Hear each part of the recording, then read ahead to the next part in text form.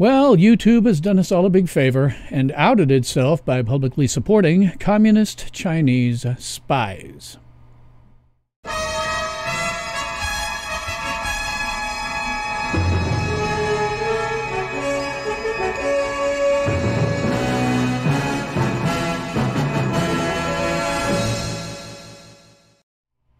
Welcome to the Free Thought Frontier, and I'm your host, Bill Stone.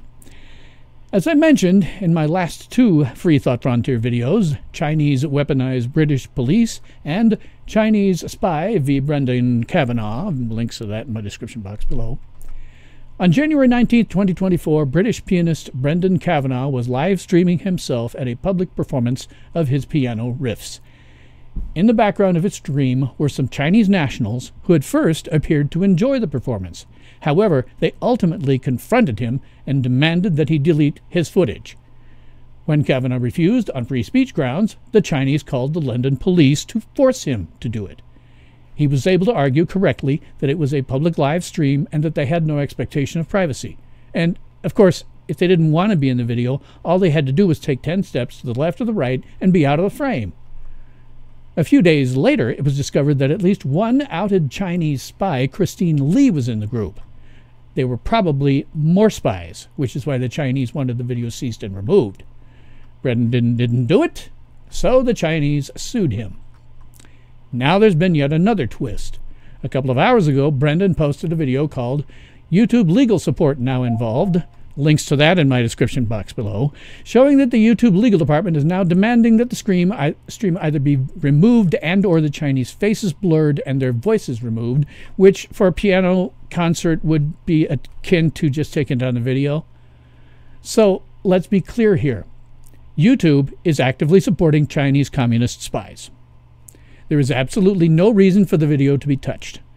The reason the Chinese spies dominate the video is because they accosted Kavanagh, not the other way around. If they'd simply stepped out of frame when they realized they were in it, there wouldn't have been any problem whatsoever. And again, this was a public performance in a public place. No one has the slightest expectation of privacy.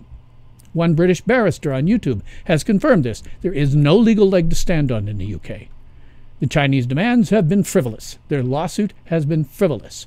YouTube siding with them is just another indication that the platform has become a mouthpiece for woke communists. I'd assume that if Brendan had the funds, he could fight YouTube legally, but I can tell you that for smaller YouTubers, that is just virtually impossible. Ultimately, if Brendan doesn't remove the video, he faces having his channel shut down. Now, this has occurred with me once before. Unless you want to pay more money than you earn from your channel, you have absolutely no recourse. Now, while I support any private commercial entity's right to refuse service, and this includes YouTube, the nefarious reason behind it speaks volumes about YouTube's commitment to free speech. So let's be really, really clear. Chinese money is a huge prospect for any media company. All the movie studios chase that sweet, sweet China money, usually in vain, because it creates giant dollar signs in their eyes.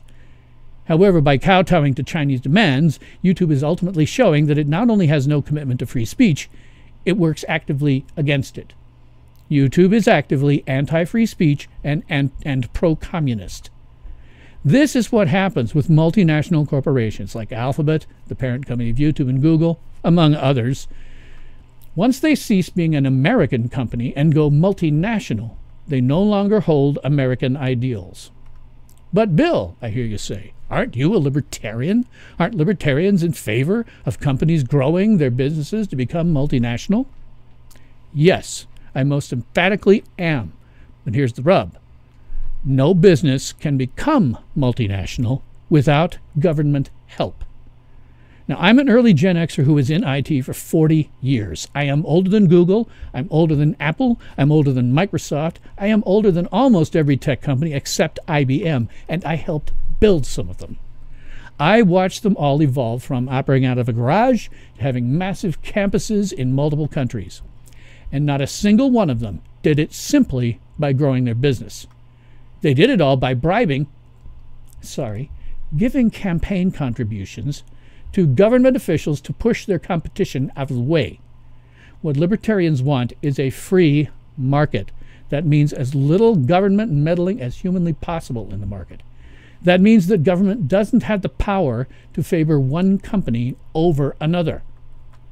If YouTube or Google wanted to be successful, they should have made better products than their competitors. But that's not what they did. It's not what Microsoft did. It's not what Apple did. Facebook, Twitter. They all paid our representatives in government to pass laws that pushed out their competition. I could cite endless laws that explicitly exempt companies like Alphabet from laws that apply to every other tech company in the industry. I could cite endless sweetheart deals sponsored by government in which only big tech companies qualify. The United States federal government has been pushing competition out of the market for big tech companies since the moment they got large enough to start bribing, sorry, making campaign contributions to our representatives in Congress, the Senate, and the presidency. Now, how does all this happen? One way and one way alone. The federal government is taking actions that are totally unconstitutional. There is no language in the United States Constitution that grants the federal government the power to make laws regarding technology, and I absolutely defy you to find any such language. The U.S. Constitution differs from every founding document in the world for one simple reason it restricts the power of government to only a few things. Any sane reading of that document will prove that its primary purpose is to ensure free trade between the states and to present a united front in time of war. It has no other significant powers, and under the 10th Amendment of the Constitution, all other power is reserved to the states or to the people. Most state constitutions similarly limit the powers of state government. The state governments have also grabbed power, whether they can or not, wherever they can, usurping it where it from where it actually belongs, which is in the hands of the individual.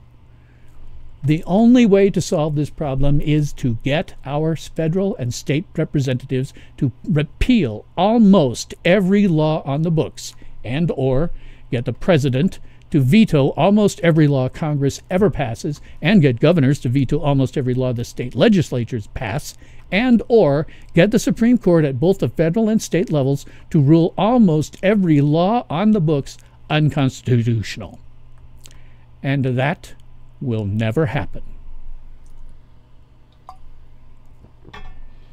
Every federal congressperson, senator, president, and judge is a power mad sociopathic narcissist. Almost every state legislator, governor, and judge is a power mad sociopathic narcissist. Every mayor and city council person in America's major cities is a power mad sociopathic narcissist. There's a good chance that your mayor and city council person, wherever you are in America, is a power mad sociopathic narcissist. The one thing that power mad sociopathic narcissists will never do is willingly give up their own power. It will never happen. It doesn't matter who the candidates are Republican, Democrat, doesn't matter. They will never willingly give up their own power. I'd like to say it would be different if libertarians were elected, but I'm not that naive. Once exposed to the massive, raw power of government, particularly at the federal level, I think that libertarians would turn into power mad sociopathic narcissists in less than six months. John Dalberg Acton, 1st Baron Acton, born 1834 and died in 1902, is famous for a number of things, but none more than this quote Power tends to corrupt, and absolute power tends to corrupt absolutely. Now, think about that for a minute and take that in, for it is a fundamental truth of human nature. Power tends to corrupt, and absolute power tends to corrupt absolutely. If you think that I, a staunch advocate of individual liberty and guided by the zero aggression principle, would be immune from this, you're fooling yourself.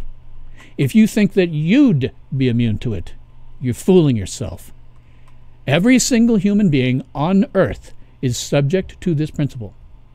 Power tends to corrupt, and absolute power tends to corrupt absolutely. It would corrupt me, it would corrupt you, and it would corrupt every single human being you know. It corrupted every single person in human history. It corrupts every single person now living. It will corrupt every single person to ever be born as long as the human species exists. It's why communism and socialism always fail, killing millions in the process. In the pursuit of a communist or socialist society, power falls into someone's hands. No matter how pure of heart they were before they had power, it always corrupts them. But, Bill, I hear you say, if power corrupts, and our modern governments have more power than Lord Acton could ever have imagined, what can we do about it? The answer to that question is really very simple nothing. We have long since passed the point of no return. That point occurred long before I was born. The point was probably when President Washington put down the Whiskey Rebellion in 1794. That was when Washington used unconstitutional power to force a tax on a people who just climbed out from under a venomously taxing government. It's been downhill from 1794.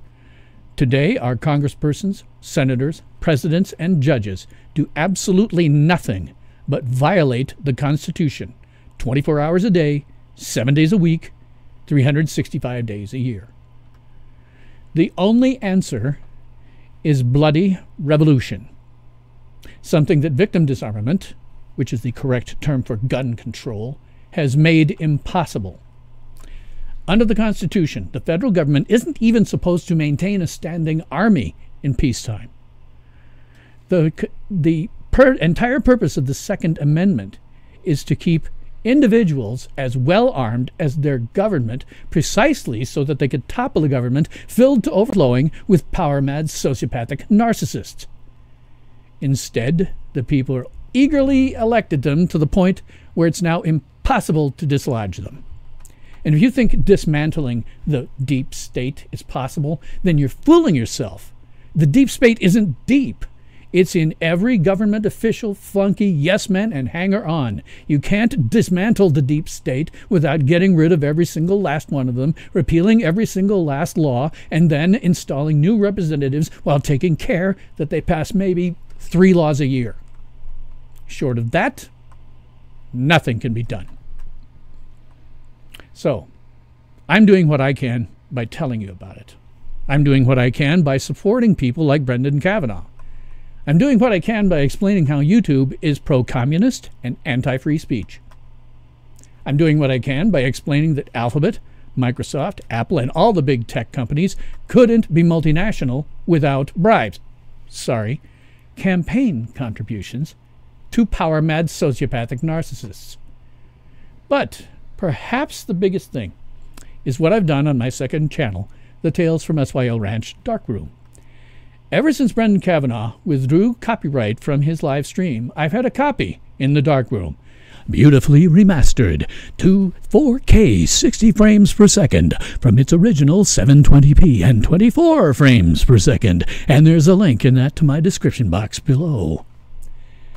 So far, YouTube hasn't noticed it because my channels are small and I don't get a lot of views. In the event that they notice, I'll probably have no choice but to remove it or face termination of this channel and of the darkroom. However, if that occurs, I assure you that the video will appear on the high seas. To be honest, I might do that anyway, just to make sure it's out there for all time. Now, what can you do in this specific case? Support Brendan Kavanagh. Download his video, or better still, the darkroom version. It's got much better resolution so that it won't completely disappear from the public consciousness. Upload it to every video service you know. Upload a copy to the Internet Archive. I'm going to. And do it individually. The more people who do it, the more impossible it becomes to erase it from the world. In terms of Brendan Kavanagh, keep the video alive.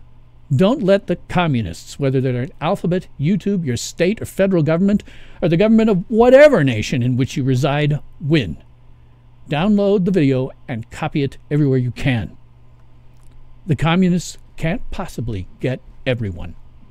In the immortal words of Princess Leia, the more you tighten your grip, the more star systems will slip through your fingers. And that's all I have to say about that. I'd love to keep the conversation going, so please like this video, subscribe to my channel, hit the notification bell, and leave me plenty of comments. I do not engage on social media for reasons I've explained in other videos, but I monitor my YouTube video comments closely, closely and I will engage you here. Share me on social media if you use social media, which you shouldn't, for reasons I've explained in other videos. So, thanks for watching the Free Thought Frontier, and I'm your host, Bill Stone. Ultimate power in this world has always been one simple thing the control and manipulation of minds.